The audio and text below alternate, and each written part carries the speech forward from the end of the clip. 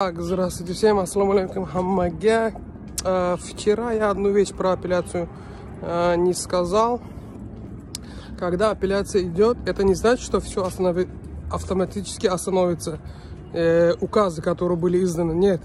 Апелляция своим ходом идет. А то, что э, исполнение указа, это не останавливает. Исполнение указа должно быть. Но если государственные адвокаты попросят да, вот этих судей, чтобы временно остановили, пока идет апелляция. После этого, если там судьи э, одобрят э, прошение госадвокатов, чтобы остановили исполнение указа, это только потом.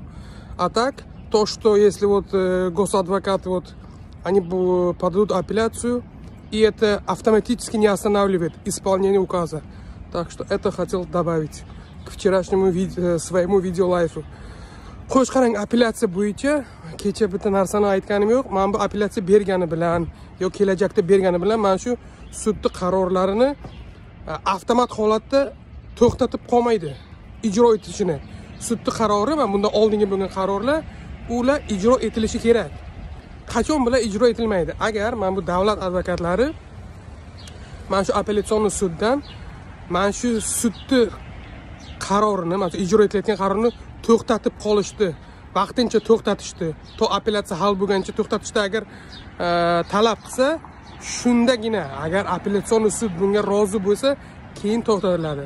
A так apellyatsiya o'zi yo'li bilan sudni qarorini ijro etilishi o'zini yo'li bilan. Ana shu. Hammaga rahmat.